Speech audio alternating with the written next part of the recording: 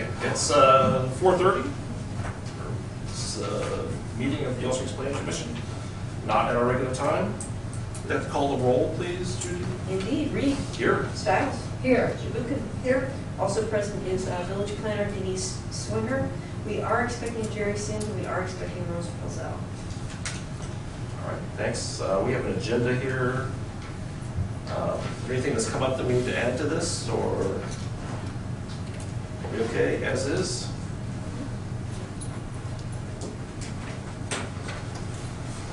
Okay. Well, Let's stand as it is then. Um, You know, I can't vote on the minutes, so there's no reason really to review them until we have three votes, is that correct? That's correct. Okay, we'll pass on that for now. Uh, Communications, we have the one additional piece of information from um, from Greene County regarding the uh, regulations or lack thereof of uh, Airbnbs.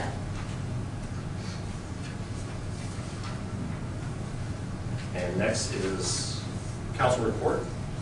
Um, Jerry is, Jer- Jerry not being here, I do have one thing that came out of the council meeting um, as a result of the alleyways, um, the vacation of those right-of-ways. Uh, Council um, deliberated for a little bit about alleyways in general, and um, I told them that what they would like to do um, is look at alleyways as a possible future planning area for um, walkways, and what do we currently have rather than, um, rather than uh, vacating uh, any of the thoroughfares, the through. So basically, I told we- at this point, we didn't really have an alleyway map. Um, Jason Hamby has taken a, uh, an address map that we have and has highlighted the ones that are currently being um, maintained by the village. Um, In this case, uh, these, the two alleyways that we vacated really didn't have a connecting, they didn't connect to some place, so I don't think that was, an- was as much an issue for council.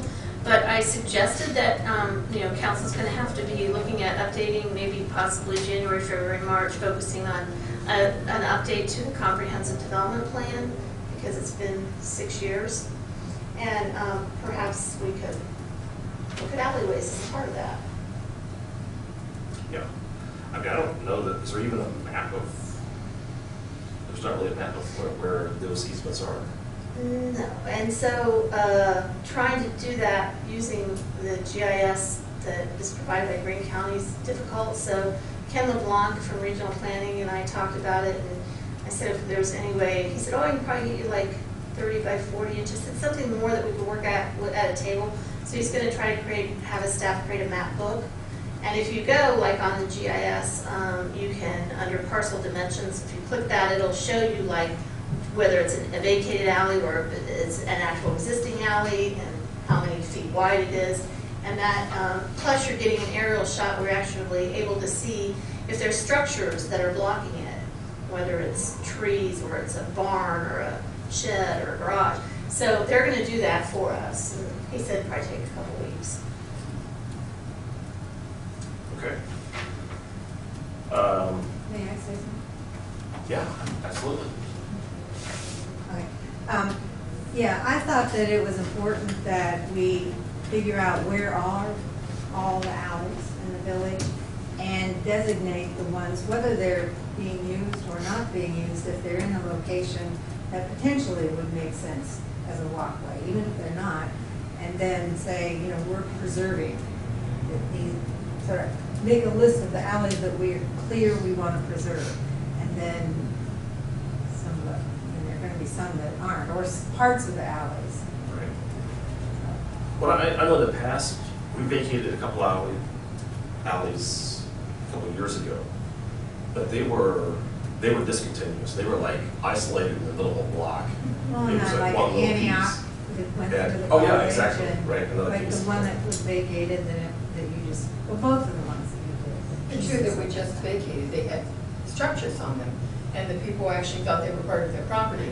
Right, Judith and I actually went back and were walking around in there. trying to figure. So some of those are just a lost Yeah, spot. and I- but I know that's something that we always thought is kind of the first cut is, are they, did they extend up to a street or not? And if they did, then we always thought, oh, no, we shouldn't have used. But even, like, I have an alley that comes between my house on West Davis and turns in my backyard and goes all the way between Davis and Whiteman. And I don't know whether the end got vacated on Phillips or not. I'm, I'm too bad if it did, because it really is useful, and people do use it, and they walk. But, but, so even though it doesn't go all the way through to, uh, Phillips, it still is used, but, uh, but it's not maintained by the village. or it's, goes up. So you're gonna start with an inventory.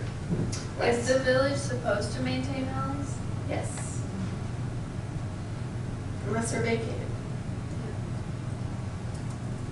Well, it's just like, I mean, there are things in our parks that would be nice if they were maintained a little better. If we have a certain capacity and Yeah. work on what.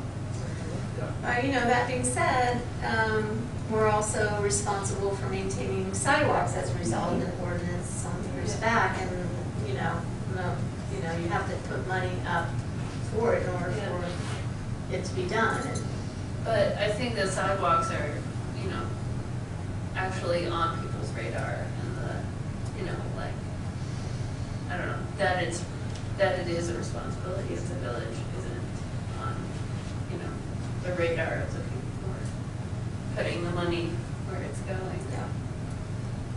Because, I mean, a lot of the alleys that aren't necessarily maintained, but are, you know, they, they are used by people. And if they were maintained, then maybe more people would use them. Yeah. Okay. Uh, Anything else from council? No, I'm just gonna go ahead though and put that comprehensive development plan and alleyways under agenda planning for the Okay. future. And I guess, Mary, Ann, since you're here, I'll, I'll, I'll say something about kind of the northwest corner of the village with the CBE and everything, um, kind of following those discussions.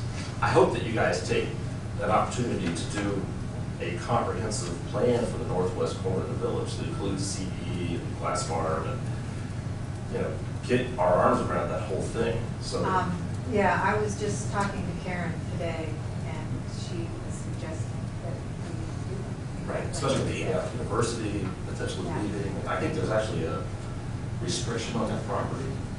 It has to be used for education only. Yeah. So, But we were talking about uh, creating a community process for looking at that. Yeah. Northwest border, development on the northwest, housing and commercial or whatever. yeah. Okay. That's good. Okay, so next on the list is public hearings. So we have three public hearings um, that talk about uh, really cleaning up some things in the code and maybe make some modifications. Um, Continuing to clean up things. Well, yeah, it's an ongoing process. Yeah. The, um, the first one is uh, a modification to the application fee language in section twelve twenty-four oh one. Denise, you want to? Sure. Um, When we were doing the right-of-way vacation of the two alleys, um, I noticed um, that in uh, chapter 12, 2401, um, under right-of-way vacation procedures, which is in the planning section, not the the zoning section of the code, um, there was a a fee in there that was not updated when the fee schedule was updated uh, in 2015. So this is simply putting that fee for the right-of-way application form uh, in line with the actual fee schedule. A question I have about that is, I guess, if it was approved to change it, why can't it just be changed in it? Why do we now need to? That was a question that we asked, um, the, actually Judy asked American Legal. Uh, yeah, and they said, no, you, when it was passed, passed it specific to these sections in which it was changed and left out, you omitted correct, changing it in this one section, you have to go back and say it's okay to correct it in that section, you can't just assume that. It, it has to be done. by- So next time we change something like that, can we add in language that said, you know, if, if uh, discrepancies are found in the code? Well, well, I went back through the code, at least the code that I deal with, and um, what this thirty-five dollars amount was the only place I noticed that was, that was still showing that as an amount, and, and what it normally says and what I'm suggesting is as established by the village council. Yes. And then that, then that takes you, that takes you over to the fee schedule. Yeah, And that was our goal, just to get everything in the fee schedule. yeah. Yeah. Apparently this is. Yes. This is just an oversight because, again, this was the planning section and not the zoning section. But I, under- I understand what you're saying, and that's a question we can throw back to um, the legal department when they write those ordinances. Is Because, there I mean, so, language? yeah, But, several other places, we've had something that we change in one place, and then it doesn't match up with something else, and we have to go through this whole new, whole system again. I mean, it seems, seems redundant, right? Like, It, it- you're right, and the zoning code is really unique in that there are these- these separate sections, all of which are interrelated. And yeah, if you, and if you don't catch one, so, uh, yeah, Denise and I can work on, I'll give her the minutes so she can pass that on to yeah. the legal department to. Yeah, and it's a lengthy process to have to go through anyway. just Yeah, context and this has to go through council. Advertise it. Yeah. Yeah. It's expensive, really. It is. You know, and you, you have to do all this work to, you know, to argue for it when there really doesn't need to be an argument for it, you know, like, I mean, That's a good point, definitely. it's practically a typo.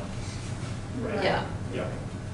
I mean, we're, you know, our brains aren't computers, so like, you, it's not, it's not anyone's fault that this was missed, it's just, you know, like, yeah. Any further discussion?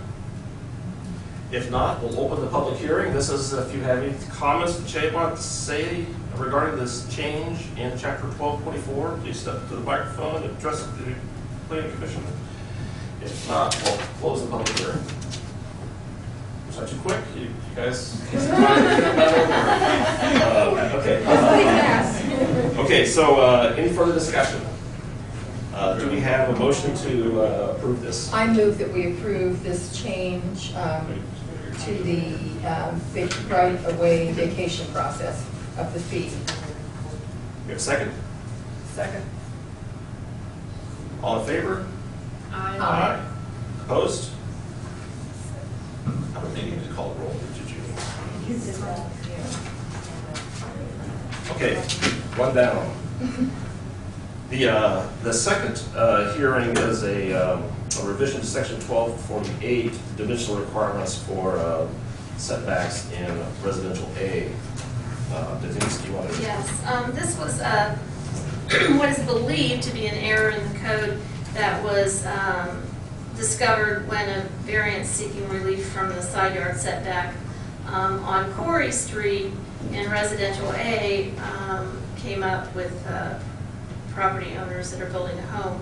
Um, in talking with, had- it had to go before BZA, and BZA granted the variance, but at the same time, uh, what BZ BZA said was um, several members were either on the, the technical review committee at the time, or they were, um, attended a lot of the meetings, and they said this completely goes against what the purpose, the general thrust of the code was to, to allow for greater infill density, and um, this setback is just, is really off the mark, because, and even going back and doing some uh, research in the codes before, the setback prior, even all the way back into the 1980s, the side yard setback was in, in RA, which is low density, was 10 feet um, on this side um, and 10 feet on the other side minimum, for a total of 20.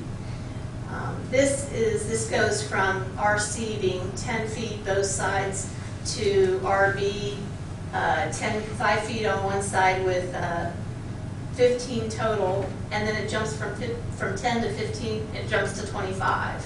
So it should be 20, and that's what, twenty total. mhm, 10, 10 on both sides, minimum. And, and, and, and in one of the arguments that the property owners made was that pretty much everything over there, a lot of the properties in that area are gonna be non-conforming, are now non-conforming as a result of this change because they were twenty feet before. Yeah. So, So the old code was twenty feet and it just got changed to twenty-five when, in the new code for mm-hmm. some unknown reason? Mm-hmm. No one caught it. nobody got it. I mean, when you make a change like, I'm consultants. Okay. Okay, so, but you, but the fifteen foot for the RB is correct? Yes, Okay. Okay. and that's, you know, a minimum of five on one side, but a total of fifteen both sides, yeah. Yeah, okay. Any further discussion? So you're saying that the RA should be a total of twenty, Ten both sides. and that's the only That's the change minimum, yeah, that we do in this table? yes.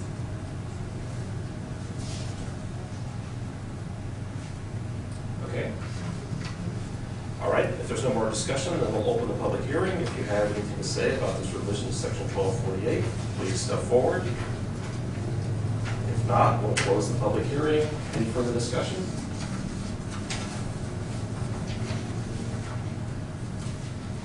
If not, we have a motion to accept this change. I have a motion to accept the text amendment, um, approving the change to the minimum setback on RA. So, Do we have a second? I second. All in favor? I, Aye. Opposed? Thank you. Now we get serious. The next one is the revision to uh, section 674, removal of plants and weeds. Okay, um, the ordinance restricting, um, the village from notifying property owners until July, until after July first has been, has been uh, problematic for staff, um, every season because people call and, and their grass is overgrown and we can't really officially start to send out letters and notify property owners. And somehow this morphed, uh, at the council level. Um, Mary MacQueen, who is here, I'm from council, is also represented on the environmental commission. And they thought this, the council thought it would be a good time to let envir- environmental commission look at this and maybe just look at the whole chapter and review it. And so all the repre, several representatives and two other representatives are here today from environmental commission to explain in detail um, what they, what changes they made in, in addition to this July first notification about mowing. So. So, July 1st notification do? it's been in the code, Yeah, okay, yeah, right, because of nesting, right, yeah. Okay. So, Um, we have representatives here today from environmental. go ahead, you go. I'll start. You start. Just identify yourself for the folks on Channel 5. I'm just Stuart Headley, I'm one of the environmental commissioners. And Nadia Malarkey, another member of the Environmental Commission. All right, so uh, we were asked to review um, the ordinance uh, specifically relative to the July 1st mow date, if you will. And in looking at that, the, our understanding that um, that was in the ordinance because uh, to provide habitat for nesting animals, um, which in one way really doesn't make sense because generally nesting animals in lawns, they're somewhat mutually exclusive, but the intent was to provide habitat, uh, wildlife habitat or consideration for that. And so uh, it was our conclusion that really a no mow date really doesn't help with that because lawns per se are not really hospitable wildlife habitat. Um, In parallel with that, uh, we we looked at what other communities were doing to enable um, people to have wildlife habitat um, on their property, as well as um, to address some other things that the council was concerned about, um, such as increasing storm runoff and uh, uh, things along those lines. And so other communities are permitting um, uh, managed natural landscapes, um, which, and so we added a clause around managed natural landscapes. This is being done around the country. One of the Cincinnati, um, not necessarily the most liberal community, uh, has uh, managed natural uh, landscape ordinance. And then the final piece is uh, we looked at the uh, invasive component and realized that it was not in sync with the DNR and added, uh, updated that to be in sync with the DNR list of invasive species. Okay. Um, So essentially, you're, you're going to remove the July 1st and, and just say that, oh, tall grass is tall grass, and you have to cut it? No, it's Or- clear, we've used a definition which is managed natural landscaping, and we Yeah. talk about a plan. But that's different than the July 1st Yeah. mow day for Tall your lawns, Yeah, yeah, okay. planted grass, you know, the, Right. the definition of a managed natural landscape is you remove the lawn and you intentionally plant native species and you manage them so that there aren't weeds. and- Or it's a forest. What's that? Or a forest, yeah, I mean, but that's native vegetation as well. Yeah. Yeah, that's what being included. But it's a a way of also uh, appeasing those members in the community, because they talk about everyone having different standards and what they aesthetically think are pleasing. Right. So it's a way of really stating that people who are just letting things become pretty pestilent, or, you know, you have creatures that some people might be concerned about, um, and they're letting things go, it, it's a way of saying, well, that doesn't mean that that's a managed natural landscape. And if you're infiltrated with po- poison ivy and you're just letting it grow, that's still not, not part of it. And we did feel that the, um, the list looks pretty extensive, and that's a small list from the Ohio Department of Natural Resources. One thing that we did put down here is such owners are strongly advised to consider um, an environmentally friendly management plan, but we, we don't want people to feel like they've all of a sudden got to spend so much money to remove these things. So it's, it's, a- it's a method of raising awareness so that people can start to address. I can't keep the honeysuckle out of my It takes, it takes a lot of work. It I takes have- have a- commitment. I have a good honeysuckle popper, if you ever need to borrow it, it's right in the backyard. And there's different ways, you know, the thing is you don't need planting it, so, I mean, some people might be still planting, you know, tree of heaven, and some, you know, various other plants that are on here. So, and, and really, it does tie into the village wanting us to look at a climate action plan, because once you have more biodiverse landscapes, you're dealing with carbon sequestration, water retention. While you're here, can you address, is it next week? Yes. I got an email, can you, I don't, at least folks all got that, so can you, So, um, next week, there is, uh, on the 18th, on Tuesday at 5:45, which is the next regularly scheduled environmental commission meeting. Um, The village council has asked the environmental commission to work with the energy board, other commissions, and local experts to begin to craft a climate action plan. Um, And these specifically are the strategies and actions that the village government, as well as people within the village can take to lower our um, greenhouse gas emissions and to begin to build resilience to the impacts of climate change.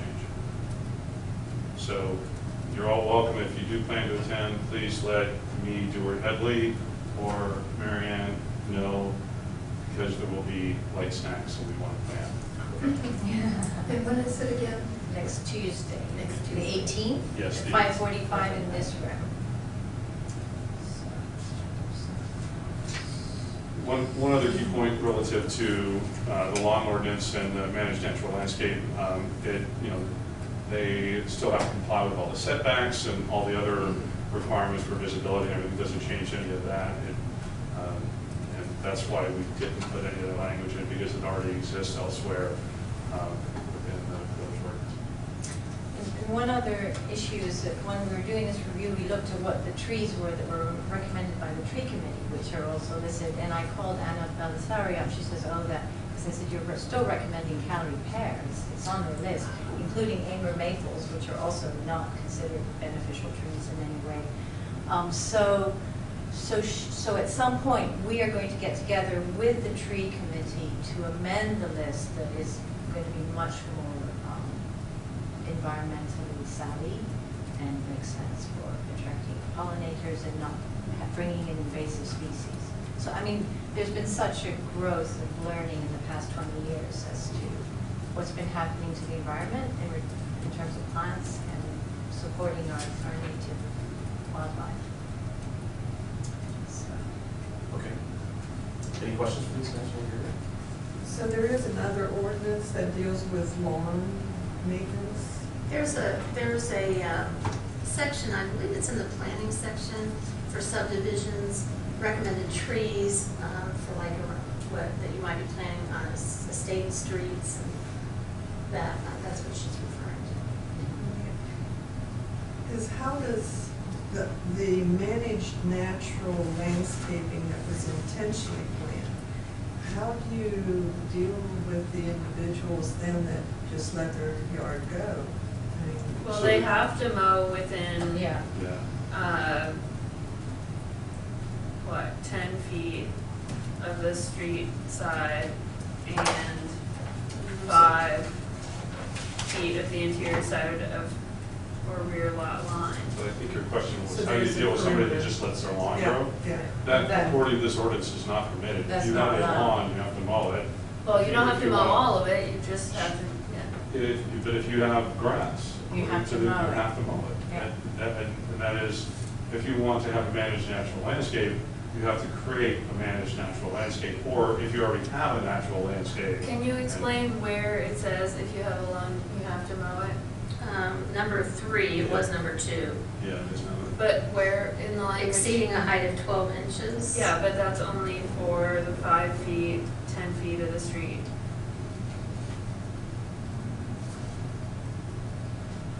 Well, I guess the question is, is that, cons- is the lawn considered uncultivated, non-living plant growth? Is- Yes, Mm-hmm. yeah, I would say so. but it's only within that amount of space. I mean, like, one could,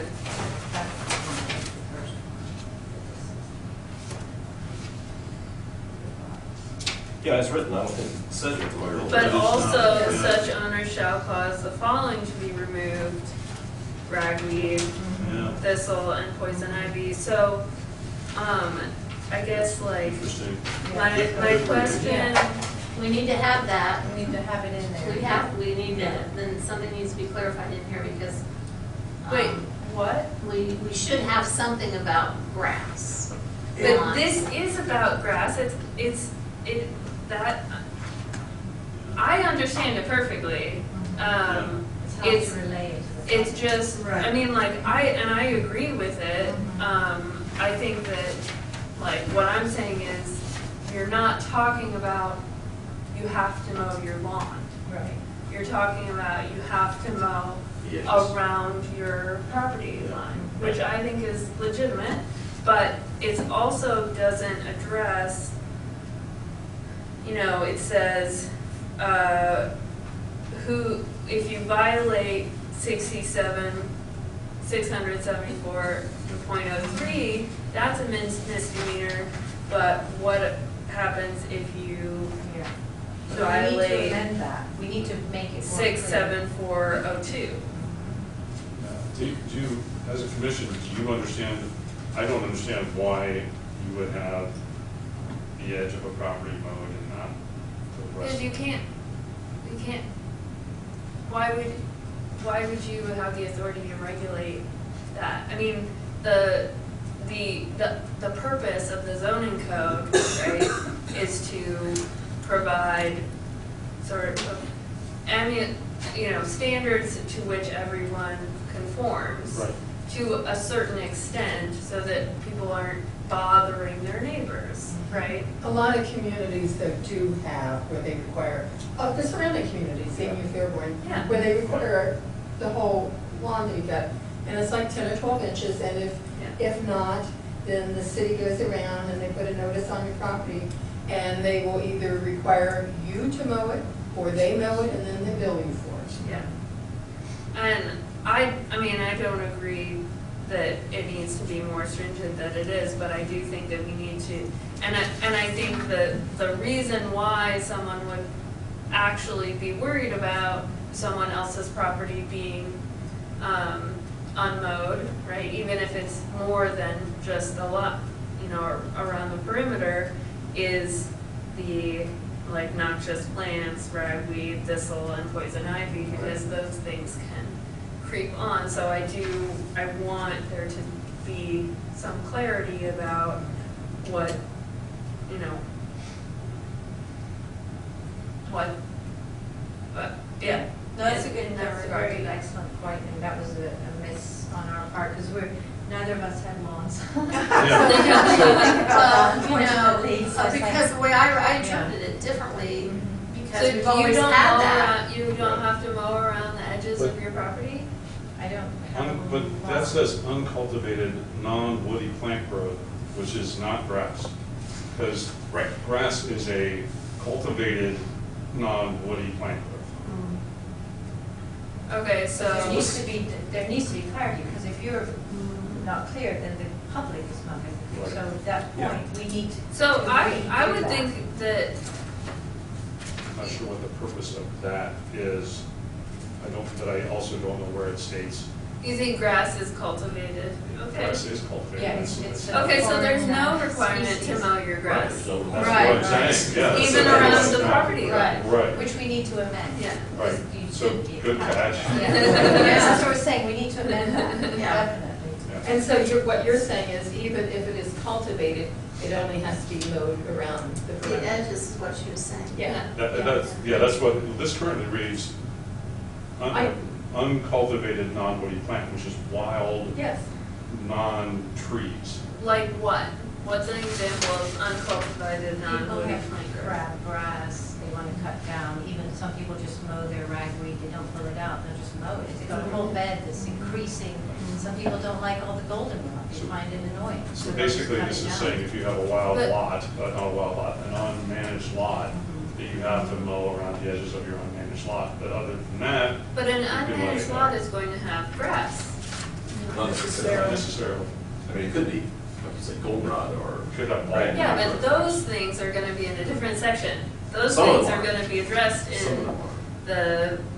Yeah. plants and So- weeds. So, so the list of invasive and noxious species does not include everything that is not, Yeah. that is a Desirable. I non-native mean, like, species. uh, um, euonymus, for Yeah. example, Yeah. is cultivated, Yeah. right? But it's Uh, well. I've got a good example, it's really hard to hear, Johnson grass, you know, it looks like, it's that huge grass. Yeah. It is currently, I don't believe it's currently on this list. But it should be. It should be, on there's a lot of things it should be, so there's a difference between what ODNR says as. But if you had that around the edges of your property and Right. were letting it grow up, this would require, You to mow it. no, it would, is it really, would it be uncultivated? Yes, it is, un- it is uncultivated, it just shows up and. it's a- It is considered it's invasive. It's just that some of this It's a bad stuff is based on, But if it was native, if it was native grass, Then let's it's, say, then it's covered, it's native grass. Are there native Ohio grasses? That's, Oh, yes, yeah. yes, Yeah. but Very that, good, that would, that would not be cultivated, right? Yeah. So the difference between cultivated and Yeah. non-cultivated, you could say cultivated is non, uh, non-native and non-cultivated. mean, like your, you know, the, the, what is it called, the tree lawn, right? The tree lawn has lawn, right? Right. Or it, you know, like, I mean, I don't think most of the people in town who have tree lawns that they are required to mow by this cultivated that grass themselves. Are, are we saying we're just gonna change it to cultivated and non-cultivated? Or are we going to say grass and other non-woody plant growth? Well, So well, I, I think we're saying that, that you could have a managed natural landscape and manage that to grow as natural plants. Yeah, Or you can have a lawn and mow it, whether you intentionally planted the lawn or have done what I do, which is you just mow what's there, and a lot of it is natural native grasses and some of it is. so you want euonymus, for example, you wouldn't have to mow around the perimeter of your property? Because it Because wouldn't it grow up, No, it does, it will go into your neighbor's property. Yeah. I mean, you want Euonymus will be seven, seven layers thick. Yeah, but you it's know. not gonna grow above twelve inches. No, but that's, that's something that I think neighbors now would be dealing with anyway. So the, the point is, I think the, the point about the lawn is very uh, well received. And what I would recommend is that we take another stab at this and create language that is much more clear with regards to um, What's monocul- actually required. monoculture lawn. Let's talk about that. Monoculture. Yeah, Let's define Well, lawn as You, you're actually, it's miss, it's just missing a chunk. Yeah. Because Right, The yes. first Right. is trees, Yeah. plants, and stru- shrubbery. Right. The second is plants and weeds, but then the final one says removal of trees, weeds, and trees, weeds, and grasses, which Right. you've never covered grasses in the previous two. Right. So, Right. yeah, that would, I mean, it seems that that would clear it up if you've got it worked in, Yeah. it's simply not there. Right. You And know, when that's- you're focused on something, you Well, assume no, I what mean, is there is, it's actually And not. for forest one- the trees. We we assume Oh, that it we would be had there problem. because Yeah. that's legal, it right. And then one thing that we are doing, which has to do with education, um, we are working with Beyond Pesticides, which is a nonprofit organization in Washington DC, and they'll be coming back to do a workshop on organic lawn care and how to manage that, and it's real organic, not the people who greenwash and just say they're organic when they really aren't. Um, and we're going to have an evening open to homeowners, so they recognize how they can maintain, if they want lawn, lawns aren't bad, it's how you manage them. Um, how to keep them looking beautiful by using environmentally friendly and beneficial aspects that go into feed the soil, not the plants, and, and to have a healthy environment. So, so it's all, you know, lots of those questions about how does somebody know how to do this. This will come in hopefully at the same level that we are trying to elevate the education level and knowledge base of our community as a whole. So that's part of the goal, but we, I think we do need to take that back. Come back and the come back section a section. specifically for grasses Yeah, and. Good catch. Is Yeah, it let's in make I there? just don't think it makes because any sta- sense to staff, this. I mean, If it doesn't mean what I think just it me, means, it's which just I think been- is what you guys are Yeah. saying, then, Yeah. you know, then it makes absolutely Set no lines sense at all. Yeah, that doesn't, that actually does not apply to lawns, it No. applies to pretty much Manage- anything else. Yeah. And then, and, and then copy that section of the code and put it into the letter. So, Well, what, so here's the last question then, or maybe it's the last, not the last question, but what do we think we want that section to say? Do we want the grass to be mowed just on the perimeter? Do we want the whole yard mowed? What do we want? So that if these folks spend their time Yeah. coming up with something, I come back here and say, what I think, what, what personally I want, and I have lots of lawn, is that the things that are noxious can be removed and the other things can grow. I mean, personally, I have no problem aesthetically with tall grass, but I'm different than other people. I like the requirement, as I understand, stood it until this moment, um, the, the perimeter requirement, I, I would be extremely opposed to having it any more than what I assumed was required in the past. And, and do you have complaints about people not mowing their grass? If you Very many?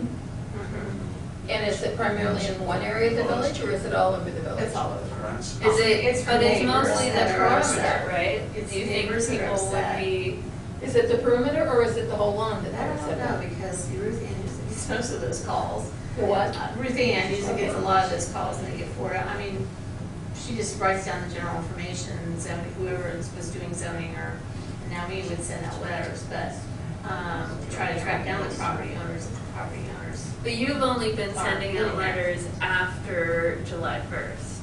Right. Yeah. Right. And so the difference would be that this would be required all year long. right. Is this the only area, the only uh, code that, the only section in the code that refers to lawn maintenance is the weeds?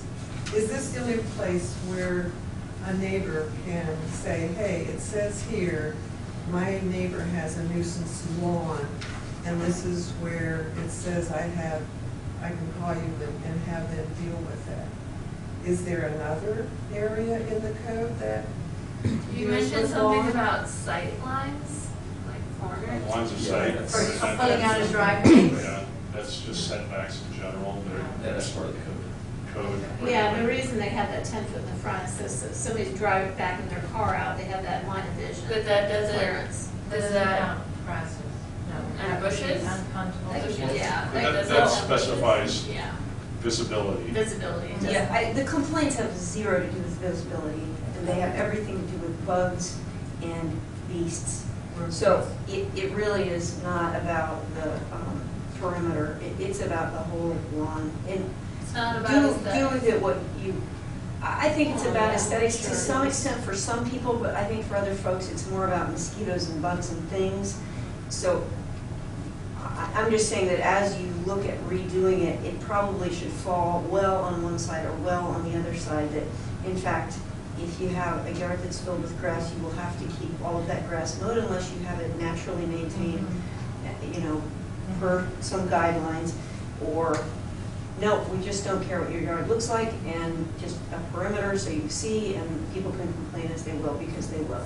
So it sort of should fall one way or the other, I think. And that was our recommendation, because a lawn that goes just a, a non, a lawn with non-native species that's just let to go is no different than having any other invasive species in many ways. So if you want to have a managed natural landscape, can plant nat- native grasses and native species, and you can manage it that way and not mow it.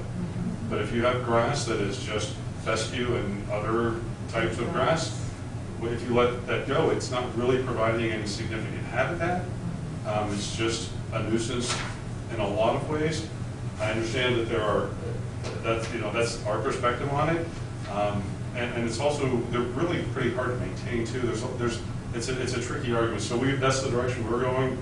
It, there are a lot of directions you can go with it, but we were, we were trying to strike a balance and really make it possible for people to have that managed natural landscape or to, if you're gonna have a lawn, maintain your lawn and take care of your lawn. okay, so if one had a managed natural landscape, so like native ground covers, for example, and took out their tree lawn, right?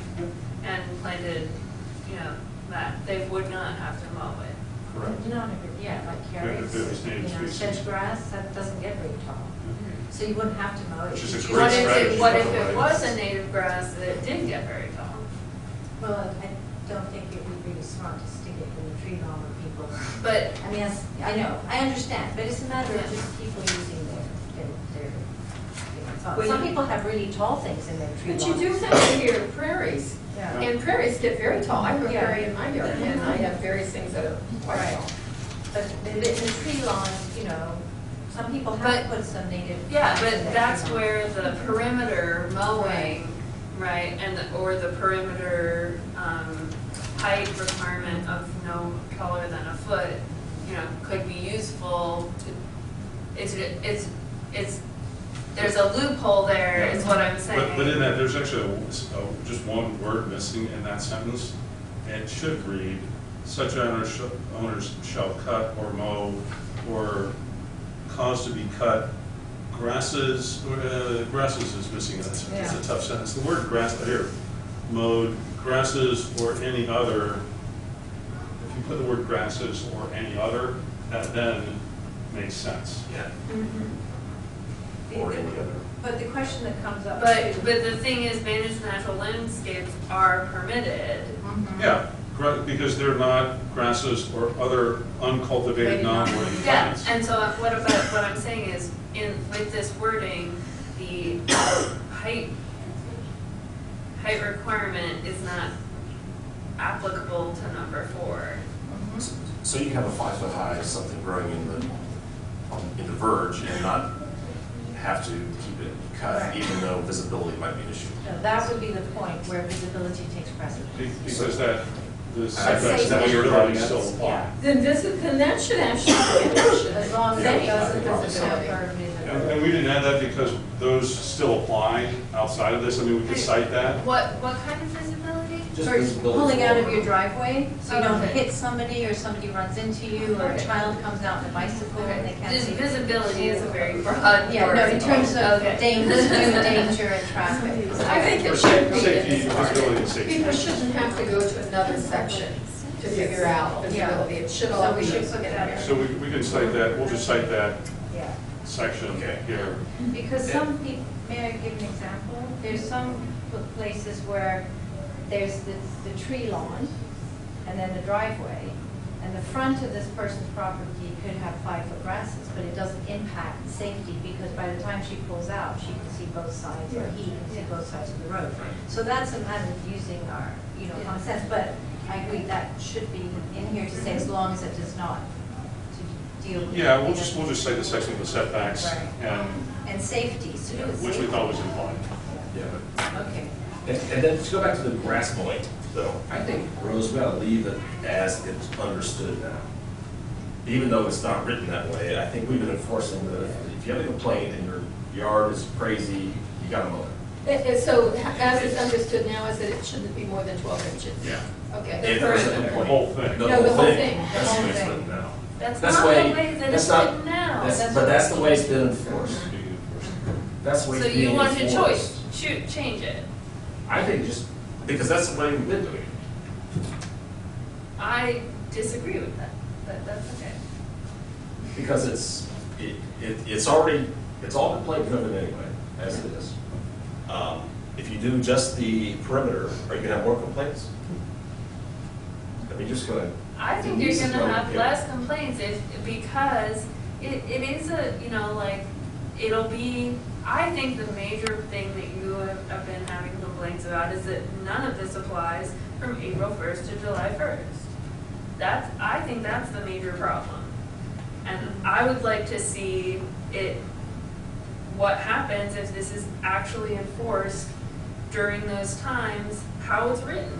Or Okay. how it, how it's intended to be written pertaining to grass with the perimeter. If you, if you all wanna make it how about this, how about this, how about Denise, can you talk to whomever and see the nature of those complaints? Yes, Get a I better think that's a good idea. Find out what the And complaints to see are. what, Is it the whole lawn or is it only, is it, what time of year is it, that kind of thing? And, uh, and we can go from there, you guys need to make a couple changes also, Well, About the lawn, yes. so. But I, I can pretty much say right now that, that when people call in, they're not saying, um, I'm just upset with the, the perimeter of their lawn. It's the They're gonna whole say, you know, I'm sick and tired of being next to these people who don't mow their yard and it's like three feet Well, tall. but Rose's point Yeah. is that maybe, is that driven by the July first, or is that just driven by? I mean, like, ticks, right, or, or I mean, you would think they would call be it, they start calling a a legitimate thing, right? And they're bad during this time that you can't, you can't make anyone mow, right? Well, I think the thing you're gonna come up against is that it is about aesthetics for most people, it's about property value for most people, it's about what your neighborhood looks like for most people. So you're gonna have that conflict of values of, um, I want to be able to do the things that I wanna do and have my yard the way I wanna have it, and then you live next to people also. Yeah. So, so when this gets written, it will be, I think it will be controversial to some extent, because you have people on both sides of that. But I think Denise is right to the point that the complaints are not about the perimeter. The complaints are about, my house doesn't look as good sitting next to your house. So it is about grass." aesthetics. It is about that, and also about bugs and rabbits and other sorts of things. It's sort of a combined package, you know, if something looks really nice, I'm like, God, I hate that bug zapper, but God, all right, if they don't want the bugs. But, God, I hate that long grass, and oh my God, the ticks and the fleas are over here too, and it just riles the whole Yeah. thing, so, no, I do think it's likely to be controversial. I also think that's why council threw it back to you guys. You know, that's- Because, um. I mean, this is an They're in open, that hea- this position. is a hearing, right? It's, well, it, it looks like these folks are gonna kind of redo that But piece. it, but it was But- advertor, advertised as a hearing, and Mhm. it, it, but it probably won't get actually controversial until it goes to council, right? Because no one comes to planning commission. So, um, I get that. Well, I think, yeah, twelve inches is not a, I mean, we're not talking, you know, a golf course here, we're talking twelve inches. Yeah. It's not like it's, uh, you know, a well manicured Yeah. lawn. I mean, I think, I, what, I think that, I mean, I think most people who, you know, will try to comply for this, they're already mowing the perimeter, they will mow their lawn. But I just don't think it needs to be required that way. May I? I, do agree with what Judy had said earlier, that we, we have to be very clear. And, and if there are that's gonna be a whole can of worms, if it's like it's not required. So say, you know, someone comes up, and says, sorry, it's not my problem. So I think we really need to try to develop more of a, a balanced approach that would address, because it's like if you have green lawn, lawn, why wouldn't you mow it? That's why you want it to begin with. Right. So someone else moves in afterwards, that's the issue. You've got a change of owners. So they have a whole different concept. It's like, whoa, I'm in Yellow Springs, I can do what I want. I'm just gonna let it, you know, go to whatever. So I think we need to look at all, all different scenarios and to be fair. And, and part of this is not just about, oh, just putting something out there so it's there and it's, it's based on enforcement. What, what we really feel in the environmental commission, that is education. You know, the more that people understand this is just, not just a document with words, why is this like this? I know most people won't ask that, but why are these species invasive? What's happened? Why are some bugs beneficial, not? So that's one way of getting people to not continue a cycle that hasn't been very Well, positive to the I'd like environment.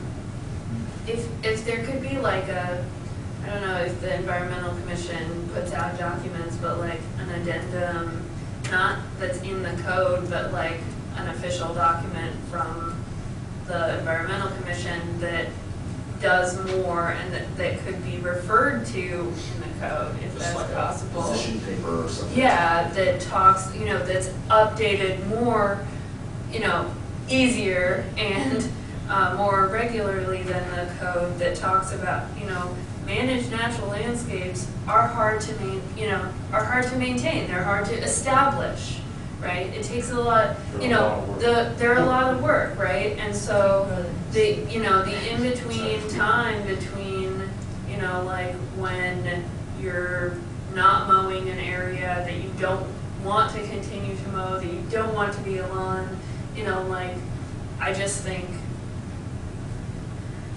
yeah. So I, I would like to see more documented, not necessarily for this to pass, but I'm encouraging the environmental commission to work on that as well with the things I that come up. think referring the public to the Ohio Department of Natural Resources is adequate, because they have the lists of the invasive, they have the lists of the pests and, and the good pests And there are also a lot of um, workshops that people can attend.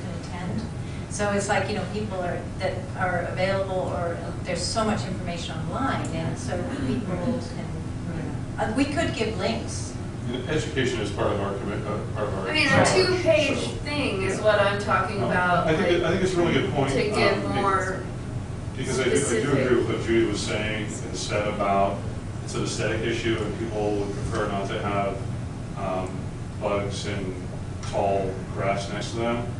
But there's a lot of the people that are managing their natural landscape would really not like to see non-native species and lawnmowers burning gasoline next to them. And so I think what we're trying to accomplish is to um, be able to say, if you're gonna do this, you can do that, and you should do it in a way that is reasonable. If you're gonna have a lawn, you should mow your lawn, right? You should take care of your lawn and not have uh, invasive species in it. If you're gonna have a managed nat- natural landscape, you should take care of your managed I natural think that landscape. there's a difference between you should mow your lawn and you have to mow your lawn, all of it. It, you know, from us, and this enforcing aesthetic standards, I think the, the perimeter is, is what we can say you have to, and I think you should is fine, but this is, I mean, like, this isn't a you should, you know, E is you should.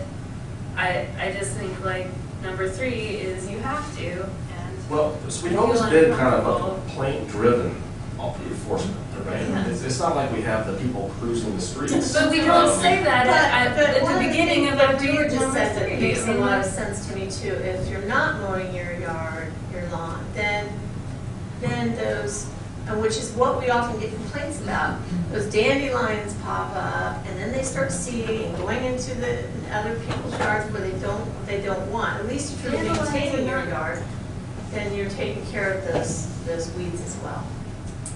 Dandelions will grow in a lawn that's under twelve inches. That's Actually, mowed, you know. I think Denise I'm was just not making an example. I'm just making an example Yeah. You can use the Canada thistle.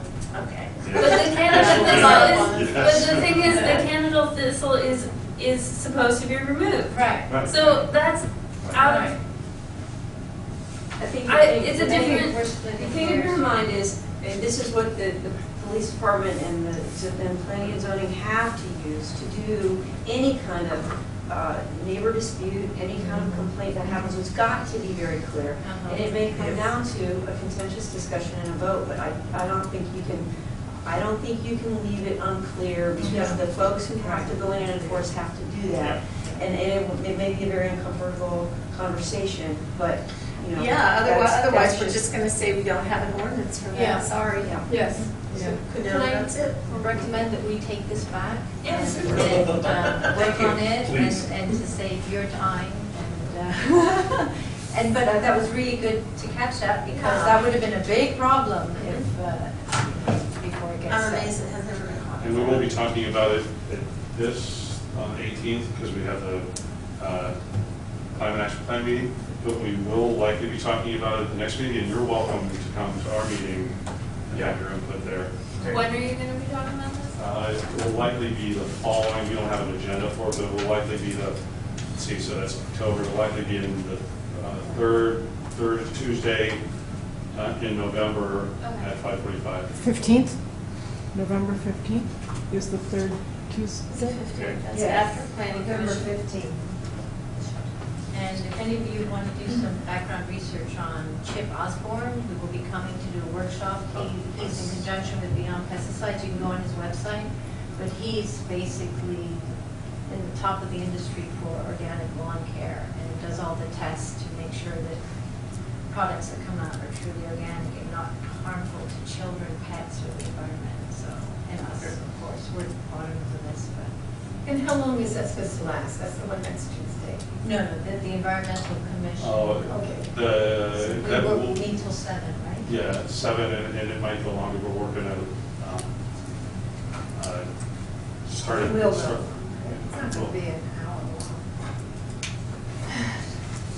So, but we're gonna hopefully allow people to finalize for themselves if they want, but it will likely go longer. It's- I'm not going to go to that, but I think somebody here, planning commission should go if everybody else. Say can next go. Tuesday. Yeah. I think I will go. Thank you. That's good, that's good to have that perspective, for us to have that perspective. And from the, from Denise and I have resources that we can tap in. It would be useful to uh, envision like communities, I, I don't know, uh, Burlington, Vermont, where, I mean, think of like-minded communities and we can then pull their uh, ordinances and just look at, okay, these are similar kinds of people and places, what are they doing? If that's of any use to the discussion, I don't know that it is. I think it is, Actually, actually. for the, yeah, and uh, Oberlin's a good example from uh, Ohio, climate action plan, Oberlin, Athens are two good places to look at. Both of them are larger than Yellow Springs, which makes it a little tricky, but um, they're What's the other one? Oberlin and? Athens. This is for the climate action plan, not to do the lawn care. If you want lawn care, there's places on the east coast I can give you Yeah. examples of that. Cincinnati also has a lawn managed natural landscape Cuyahoga ordinance. County, they're, they're moving forward. I can Yeah. pronounce that finally. Yeah. Homework. Thank you. Thank you. Okay, Thank you, thanks. guys. Thank you. I guess I have one question in regard to our tax. Yes, got it. There's the issue of what are managed, unmanaged grass. Can you come up?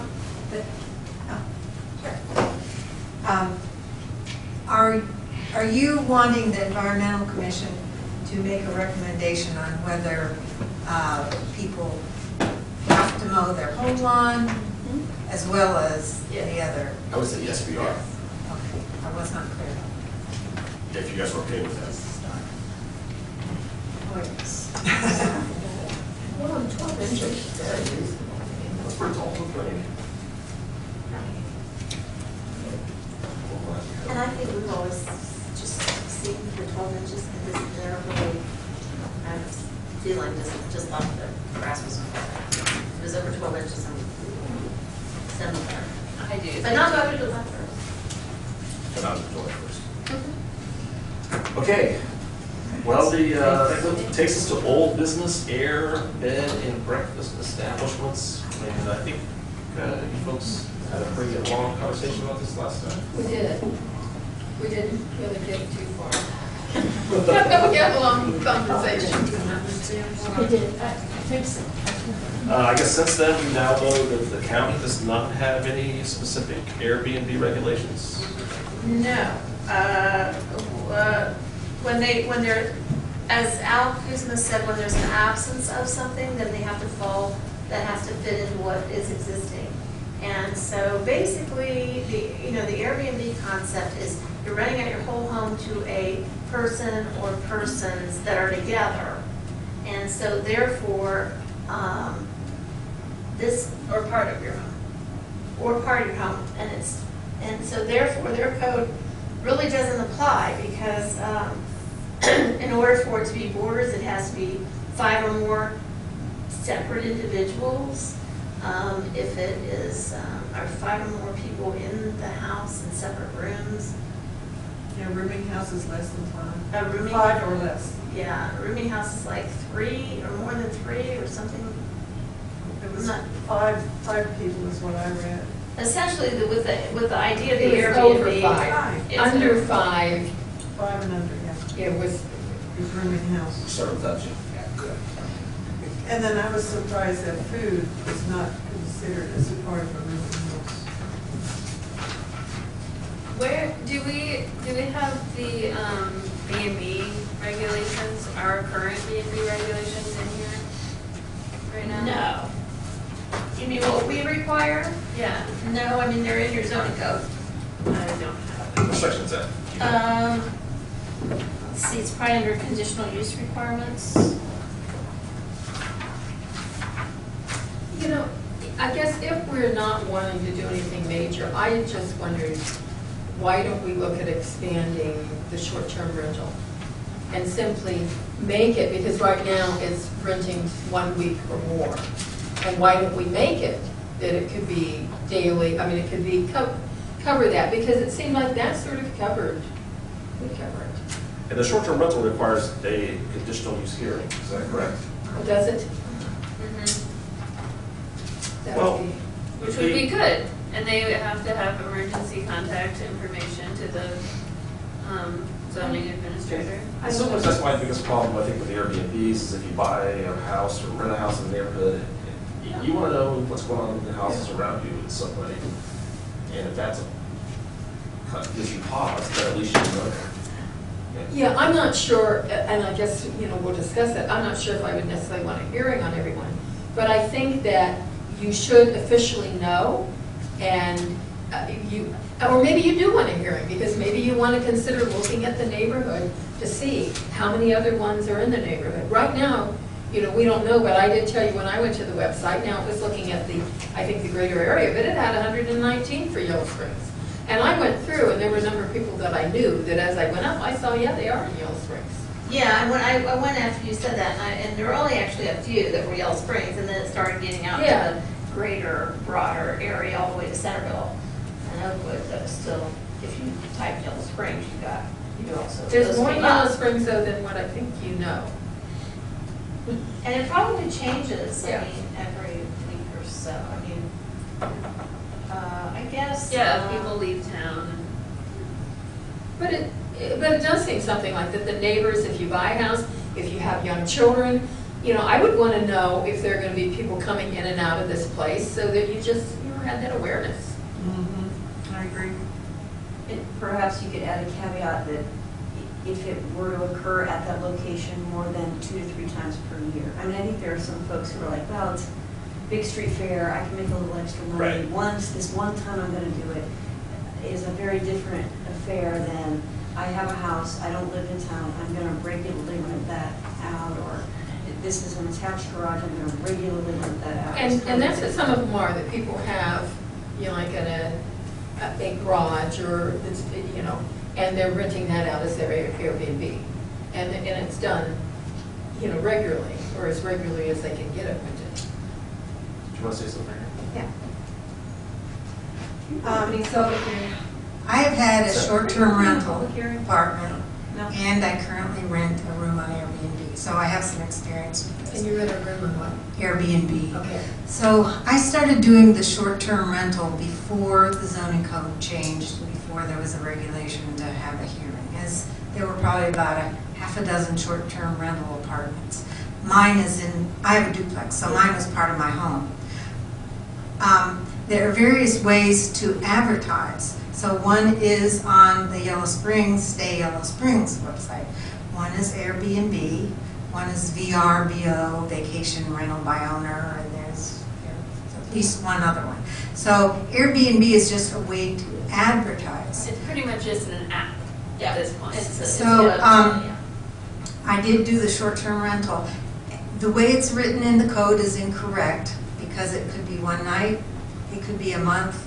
Um, I've rented short-term rental for several months, as do all the others. I mean, Bob Sweeney is probably the biggest short-term rental guy, and he'll rent for a night or two nights or whatever. So that wording in our code for short-term rental should be changed. I think most Airbnb places are just a bedroom. But sometimes they, like I advertised on Airbnb when I rented out the apartment, I didn't really get much traction. But, um, so, do, do you have any questions? So, I mean, I've been doing this for six years. So would you, um, think that, you know, if we added, if we changed the definition of a short-term rental, right? Then, um, for people who needed, who, who rented out the room, you know, a room in their house, right? For a short term, for a short period of time. One or more nights. you know, one or more days. nights for, you know, two weeks a year, should they be required to come and have a conditional use hearing? Um, For two weeks a year? Yeah. No, I wouldn't think so. That, I mean. But if we change the, I mean, someone who rents out a room periodically, for example, uh, Patricia Snyder brings in a yoga teacher, one, different yoga teachers. And there are people, she has a list of people that will rent out their room to those yoga teachers. So they do that for maybe one or two weeks a year. I don't think you want to have, Yeah. have. so we need, I mean, we just, we need to rewrite this. Yeah, so then the question that kind of like Rose is bringing up then is where do you draw the line? Right? When is, when is it then, are you making an impact on the I neighborhood? mean, I, neighbors, I, I can or- tell you now, I, I'm having someone every weekend, So, so do you at think, least throughout the summer. do you think that you should be required to have a conditional Well, use Well, hearing? I, I mean, my understanding is that I was grandfathered in. That may or may not be the case. I Do you think know. other, other people who But- are doing the same But I do think that, uh, that it's, that it's good, that, that, it's no different than having, uh, you know, guests or someone. I mean, it, I think a big difference is I live there, so, you know, if someone's in my home, I know that they're there. If, if you're just renting out a house and people are coming and going, that's a different thing, I think, you know, in terms of the neighbors.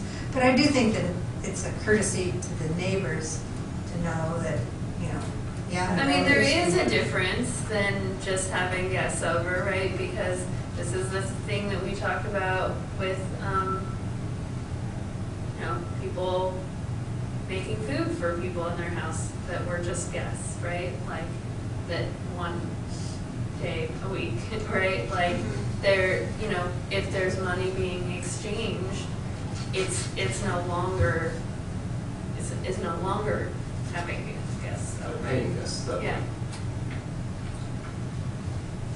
I mean, which I actually, I- I'm kind of two, two-faced about it, I guess, but. Well, I, I know, I definitely am. I think it's a great idea to have short-term rentals available to people, but I also agree that it's great, it's, it it is more than a courtesy to let the neighbors know. Yeah. And, and so the question is, where do you cross the line? You cross the line like, like, you- maybe you just brought up, of not living there, renting out your entire house? Well, I Is think the one ma- line, the or is it major some- problem. But you know, Number of there, weeks there or- are some, there are several folks that I know, and I'm not gonna say their names because clearly they're not registered, but they have, um, parts, uh, uh, uh, like uh, over their garage is, you know, fixed up and all that. And they're renting that out on a regular basis. So it's adding traffic, more parking, you know, different people coming in and out. Maybe it's like 14 days. If it's more than 14 days a year, they should have to come and get a conditional use. Because it just seems to me that neighbors need to know if this is going on. And, and yet you need to, because you don't want, like in one neighborhood, you don't want 15, 10 houses all doing it.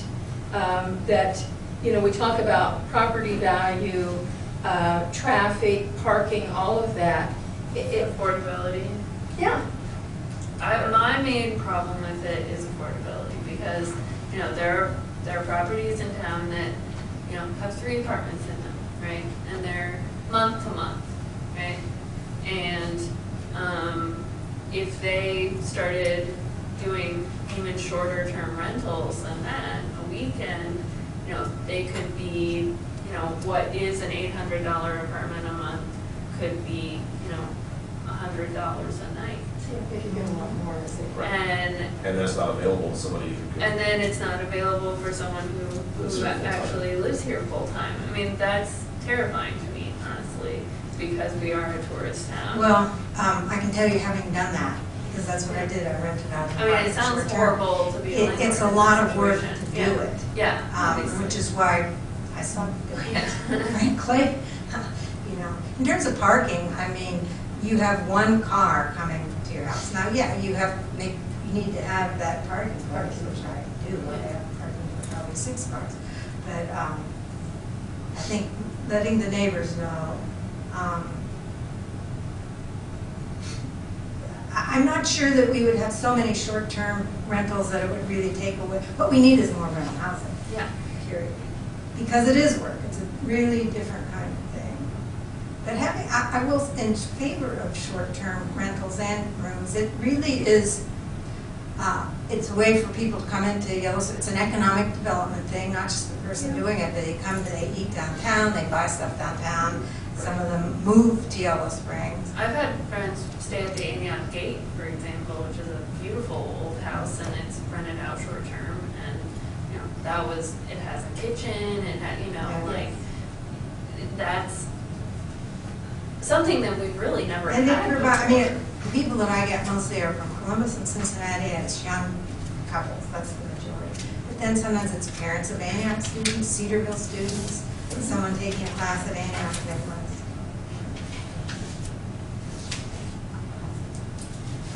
Thank you. Well, I mean, it sounds like we're in agreement, we need to at least modify this language on short-term Yes. rentals. Yeah. And, and I guess the question we uh, need to answer for Denise, if we're gonna ask her to do that, is what do we want included in that with respect to time or uh, number of rentals per year or something? And is there some mechanism besides having a conditional use hearing for neighborhood notification? Not that I'm aware of, I mean, I guess if you just do, uh, and that's like a change of use, but I would, well, we do change of use um, barely ever, but if we do, then that change of use might go more to official places like uh, the fire department and the Greene County building regulations in those places, it doesn't go to neighbors. One other thing I thought of, and that was part of the discussion with Ted Donnell when he was here last time, is that part of that, the process permitting should also include that they have insurance that will cover that. Because one of the things Ted pointed out is that if they don't, and if, if it's not something that's permitted, that their, if something happened, their insurance isn't going to pay for it, and it could actually fall back on the village, that the village could have some liability. if we, if we intend to cover it. But I guess I don't really know what, where we'd al- already be kind of liable for, under the short-term rental as it is, because how, I don't see a lot of difference between that short-term rental. What's the difference between boarding homes and short-term rental? boarding homes is multiple different tenants that are renting rooms. And then that gets, then that kicks in the Greene County building regulations. Um, I mean, I know there's people that have like, they basically take like an, like a garage and they've converted it. Yes. Okay, and, um, if they, there's a, they, if they want to do that and make an accessory dwelling, they're supposed to already come to us for conditional use. Now, that being said, I've never had them come to say that the purpose is to do it short-term. So I'm not really sure how that evolved in the, in the zoning process for the short-term rental, or if it was to capture some, uh, some places that were operating sort of like a miniature version of a motel, hotel kind of situation, I don't know. Do you have now, or maybe would you prepare, like, what, are there, do you have any questions for us already that we haven't already raised? Like about what we want changed? Because, you know, your question about, you know, setting re, the reason for inviting the Airbnb owners, right? Like, Oh, yeah. um, having a agenda, right, for that meeting that is specific questions formulated in a way to, you know, to answer the things that,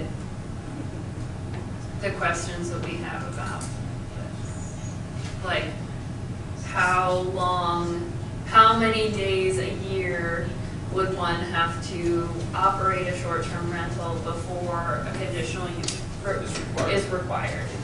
That's one of the questions that I've heard already. There are other questions that I have that I don't really know if I could make a list of, but it seems like, right, at this. So am I- are you point- saying you wanted to have people come that operate here? That's, that's where I got, I was advised that I would kind of like- a slippery slope. I would I like. think it is a slippery. I would like a list of the questions that we, all of the possible questions that we would need to answer before rewriting them. But maybe I need to make that. I, I'm myself, not, sorry, you I'm know. not following you. I'm sorry, I'm not following you. You mean, You said, can, can I, yeah, go ahead. you're saying a slippery slope if we ask people to come here for a conditional use permit? No. For- To come to get input on how we write this. Yes, Oh, Yeah. oh, because they may not necessarily want us to know what's going on. right. I think it would be helpful to know from the village solicitor or someone legally, what is the liability of the village? And what should, because I noticed for short-term rental, there isn't anything about insurance. No. And that just seems to me that that would, and probably a lot of them, you know, it's covered. I'm sure Well, people well, have thought about that. All the other uses, we don't say you need insurance. Yeah. no, you don't. But, but, you're right. But when you have other people in your home, and if all you have is home insurance, it's probably not gonna cover But- if you're getting money for I mean. Ted also insisted that the health, com- you know, that the, the county has regulations that, you know, that we've seen now. They don't. They don't, I mean. Right. I didn't think he insisted, I thought he said that was a place to start, to ask the No, county. I said that. He said, do not ask the county, I know what I'm talking about. Sorry. I, I agree that, that, I, I, I don't think that we're liable. Yeah. Ted, What- one of the Ted said things- that we, would Yeah, be as a village, one but of I the don't things he think so. said, and it does kick in at a certain point, is depending on how many people you have in the house, is those firewalls and that kind Yeah, of yeah. stuff that he was talking about. And then you do have different codes, which I Yeah. think that Al Kuzma had, had mentioned. Um, I can ask legal, I mean, because at some point, I mean, the, the, I mean, we have, we have, um, bed and breakfast described in our conditional use, we have hotels, and motels, but those are also covered by county as well. Yes, yes. But like even, uh. But we're talking less than four, which is what it No, makes it less a than- short term, Right. right? Five or less. Less than five. Yeah, and, and. Al- Five. and Five or less. Five or less, and Al- as Al Kuzma said, you know, it is a new phenomenon, they don't, they don't have any. thing, so they go with what they do have, which means it's like a regular house being built. You don't have Yeah. to put in a firewall, it's Yeah. just, you know. Five or less. Well, I don't know if we need to go that far either, but I think, you know, right now our short-term rental thing I think it's says just that we really should changing consider it the to- negative effect on the surrounding neighborhood. Yeah, and so, I mean, I think the That's fact that of it's what been we're a week or more is, as Susan said, just change that.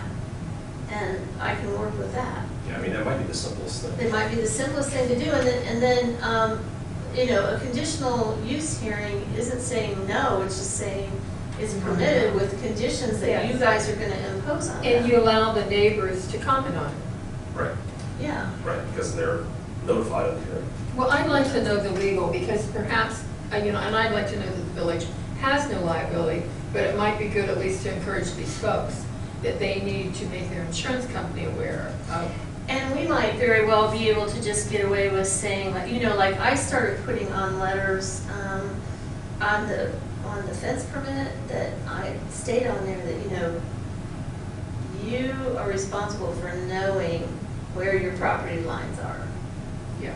you know, uh, and you can get that by contacting the Greene County Recorder, maybe getting a su- survey, or having someone come out and find the pins. But th- then that takes that off of us, Yeah. because, you know, I'm, I'm believing in what they're showing me. Yeah, me, you're approving a fence that. could based on be- what they're telling me is their property line.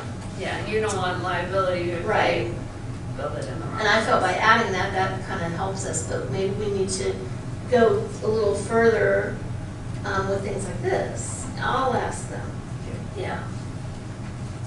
Um, I, yeah. Yes. Um, I hope you don't go too far with this. I mean, yes, it's good for the neighbors to know, and yes, there is needed parking, but, uh, you know, what about people who rent out their house from the summer, three months periodically? Well, right away, they have to come and have a hearing for this, and that's a pretty common thing for people to do. Um, So, and the whole thing about a fire, I mean, if I rent out my bedroom sometimes, what? Oh, yeah, and it's not covered, I mean, it isn't required. It's only when you get to a certain. It's number. only get to a certain level, like if Here. you've got five rooms that you're running out, then it changes it to a hotel or a bed and breakfast type of situation. That's when the Greene County Code kicks in. I think that we should state what the maximum occupancy is for ourselves. I don't think we should just, you know, just go to the health department requirements, because it makes this unclear. I mean, a dwell, a short-term rental unit, a dwelling that unit that is rented or leased to one person, family or entity on a weekly or monthly basis, but typically less than one year. So that just says one person, and then the maximum occupancy says the number of tenants permitted shall be determined by the health department requirements. That is a, that is, right there contradicts itself. Right? Mm-hmm. Am I reading that wrong? I don't think so. If the short-term rental is one person, family, or entity. So it could be more than one person if it's a family of five.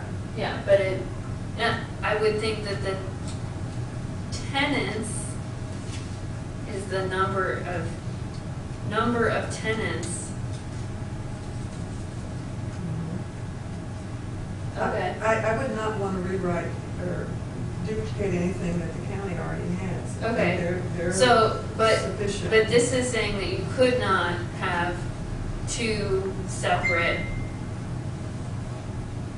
units of money coming in, I in a think that's right. short-term rental unit.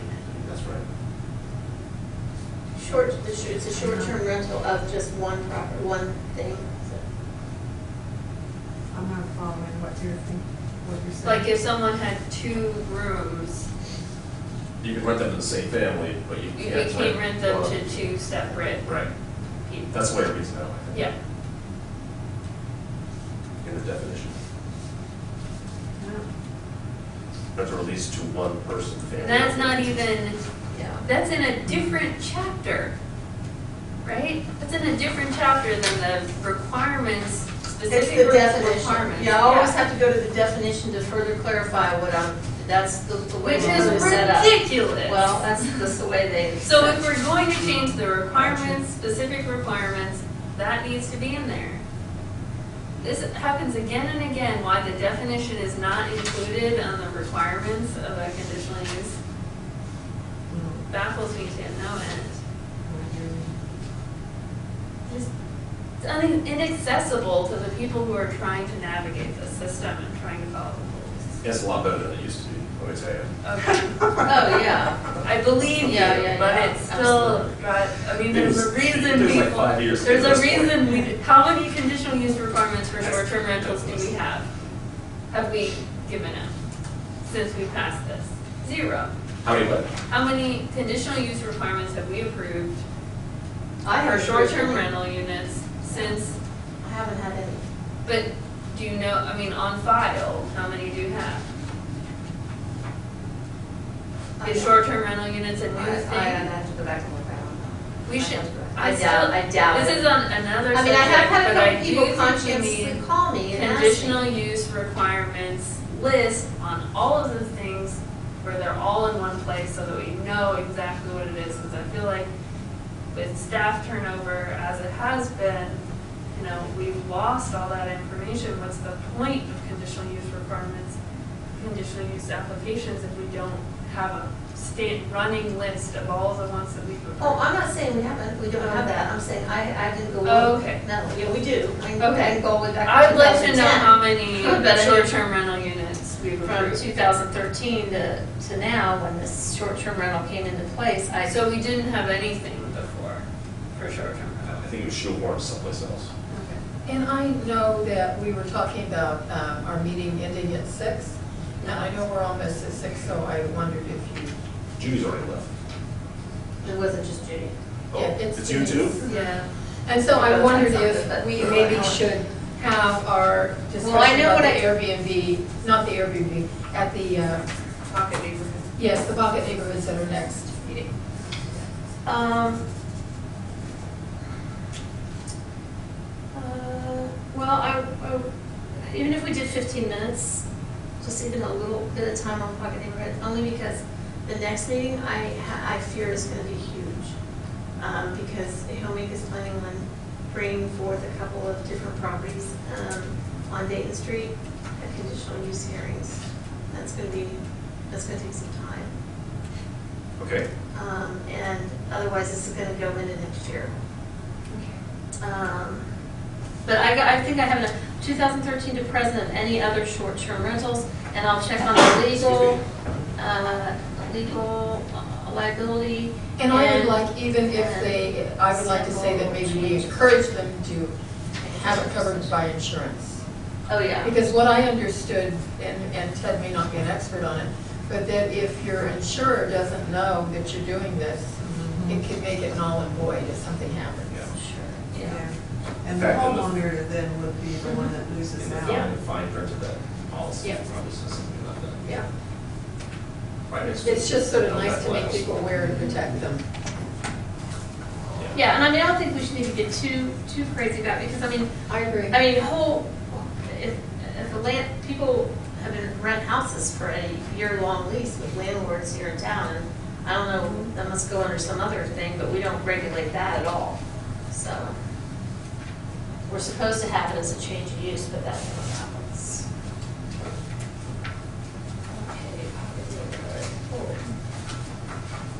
Okay, I think. Okay. Sounds like a different discussion. Pocket neighborhood, okay. Um, I started to try to write a sample code like you had asked me to, when, and realized this was becoming daunting. And its effect on the entire zoning code, even, even like inserting a chapter, um, I mean, I guess, you know, all the chapters are even numbers, and I don't know if they're even numbers, so for the potential to insert a new section in later, I don't know. Um, but, uh, it's gonna be, it's pretty big, and one of the things that came up before was, um, Grove City does, has a PUD residential and, which, I don't know if you, probably, I forgot to make copies of this today. I found, I did, we were missing one thing, I'll just let you go, I'm just gonna send this down to you.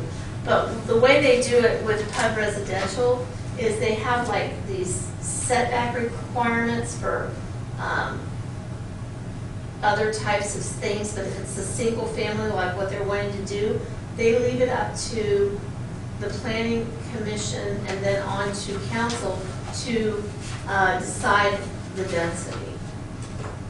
Okay. Okay, now that in and of itself becomes like what the issue with PUDs have been. Essentially a. Is, it's it's just the same as what we already have, and you have all these differences.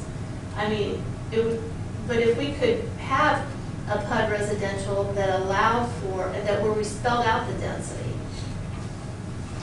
then, then they could, you could have that pocket neighborhood like say if you, let's say it was a- an acre or two acres, and you could have twelve or fourteen, or if we- if we could spell out something like that, it might, I mean, I guess what I was hearing uh, being said was that going through the PUD process is super difficult. Well, looking at this, to me, this looked, you know, very challenging, the one that, um, Yeah. uh, Grove City has. I Yeah. mean, that's why I, I would hate to put pocket neighborhoods under that, because it just looked really onerous for them. So Um, has it, who's, who's been through this PUD PUD, process? yeah. Okay, so, so when someone comes forward, they start with what? They start with, Well, it's, it's essentially, you do a certain percentage, percentage of the design, and you bring that So it's expensive. for staff review, and then there's all these iterations, and once those are dealt with, then it comes to planning commission, and then, then it goes to council, and so it's just, it's And then- and a then- multi, multi-step process. and then rezoning happens after that. Well, well, the council then grants the PUD. And it's rezoned PUD. Right. And that's part of that process then. Yeah. Yeah, but it It's the takes months and rezoning months. I mean, that- not only do you have probably several months just getting it to the point where you're able to discuss it with staff, but then the planning commission, I think, has to have two hearings on it. So there's another two months there at a minimum. Because you have to pull it And you have preliminary to and spend then- all the money to have that done, and may find out at the end that it won't be approved, Right.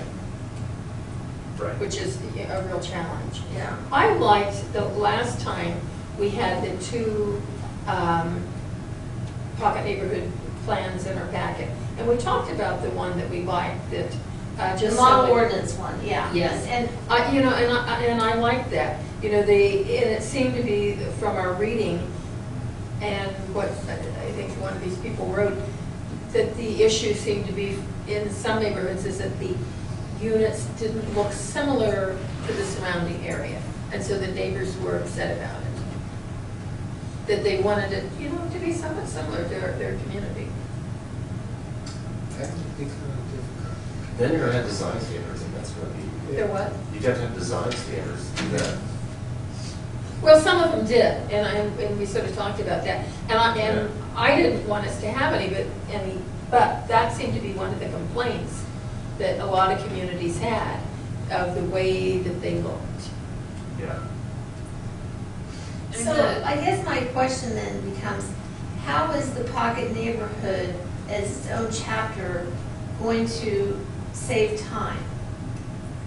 See, exactly, because you would have to, the thing is, it would be a standard zone. So they would rezone to pocket neighborhood, right? Is what was being suggested. Mm-hmm. And then at that point, the regulations would be different than all of the other ones. All of the other, so it would still go before planning commission and council, right? right? Um, but it would be, it wouldn't be spot zoning, it would be spot zoning the standard, right? Like it would be standard spot zoning instead of every single thing being different. And so you would be like, hey, I wanna build pocket neighborhood here, can I rezone to pocket neighborhood? And then we'd be like, oh, yes, you can, and council would be like, yes, you can. And we would know that the pocket neighborhood would fit within the constraints of the pocket neighborhood zone. So it'd be conditional use. Yes. No, it would be rezoning. I think, my opinion But is could you different. still have those standards under a PUD, under a PUD area, so we don't have to create a? Yeah, we could, what I'm right? We Another could- layer of Yeah, so we PUD could is do what I'm like asking. PUD, but the thing is PUD, PUD requires a lot of stuff up front. Yeah, would you still have to do all of that? No, you would, to rezone, you wouldn't, right? You would, Then in my have opinion, I don't think Yeah. that you need a, a new zone. I think we should change the rule requirements for one of our other zones, our residential zones already, to fit within someone being allowed to do a plant, a, a, a pocket neighborhood in that zone, and if someone needs to rezone to that zone and pop, and spot zone to, you know, R, RC, right, or R. Mm-hmm. the Say it's, not- higher- let's say it's not allowed in RA, it can only be Yeah. RB and RC, let's say. Yeah, Okay. and, and they rezone to RC, they say, we're doing a pocket neighborhood. In my opinion, if you're doing a pocket neighborhood, you probably have a, at least a preliminary plan you can show someone. And, and then, you know, but it would be conditional, let's say conditionally allowed in RC.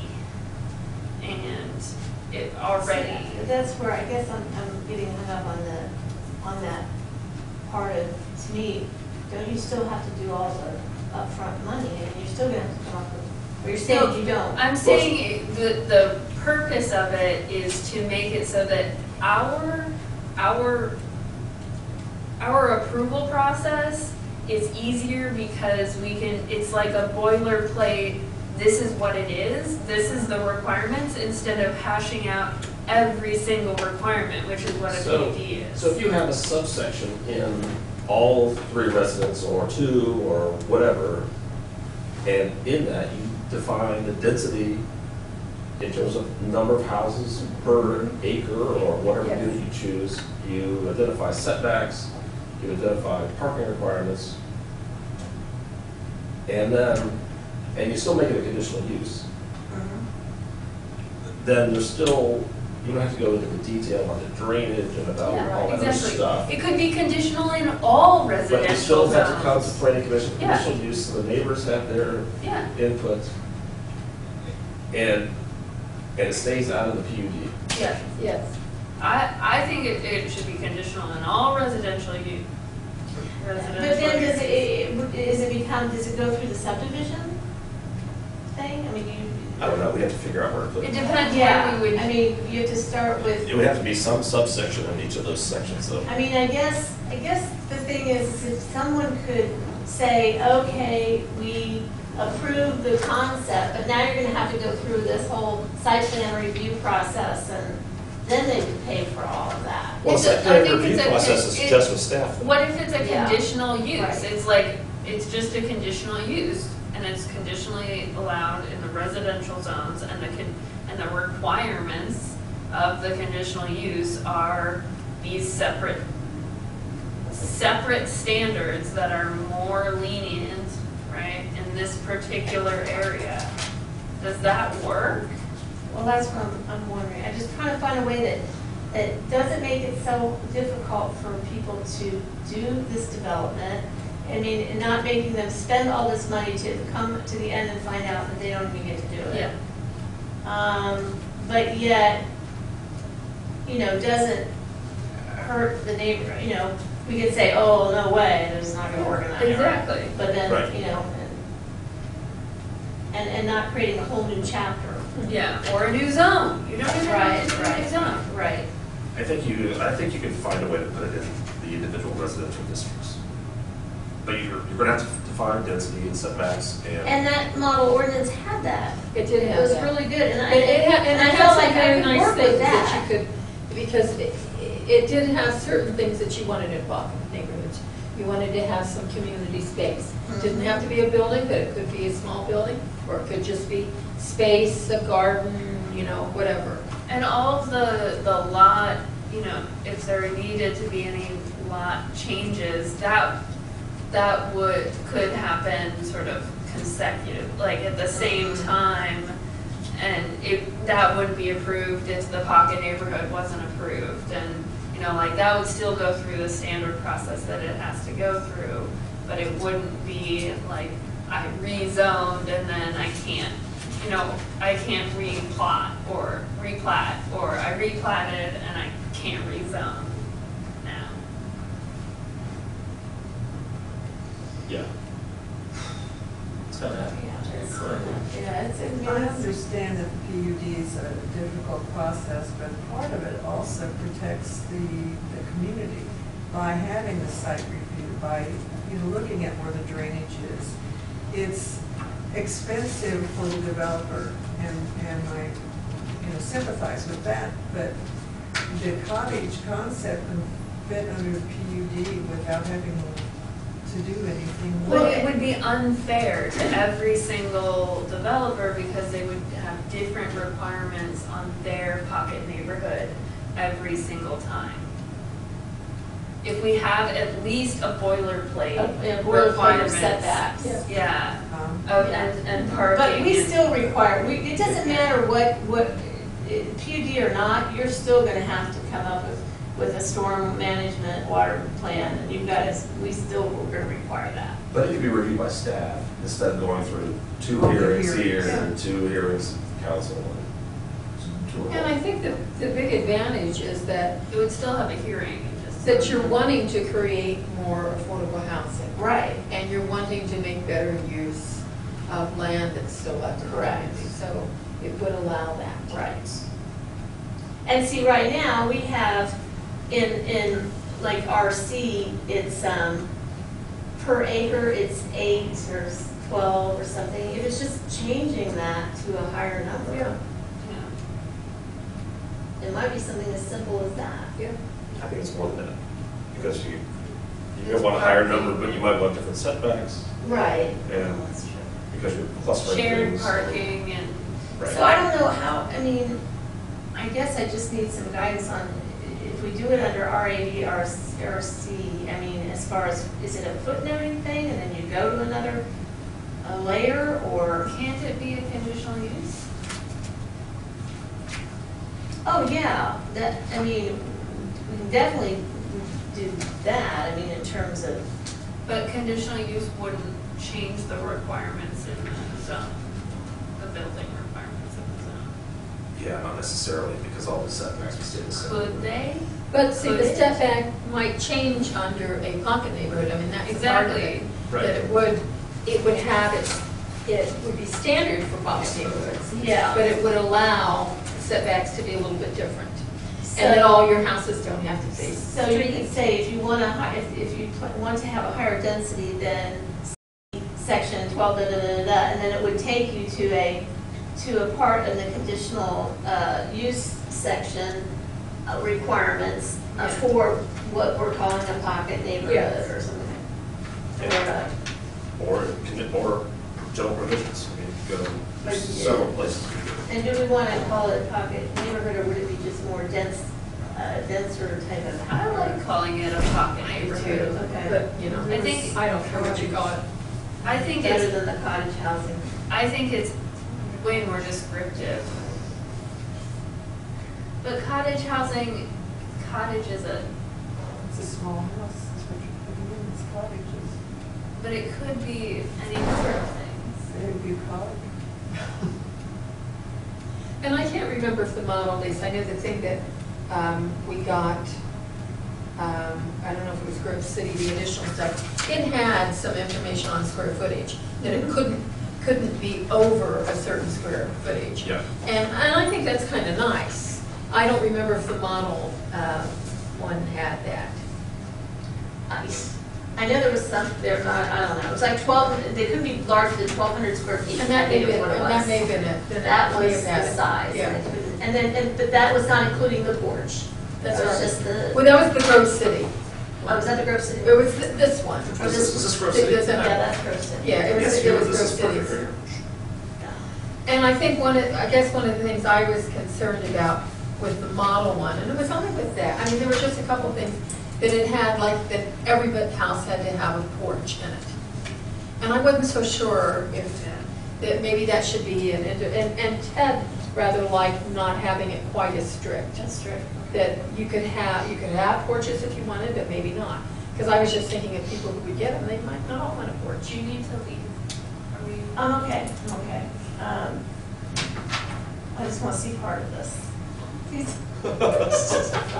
are you going? Uh, my kid's a senior in the varsity soccer team. Oh, you did go, okay. Yeah, so they're playing at six, they're playing here home game, Columbus International.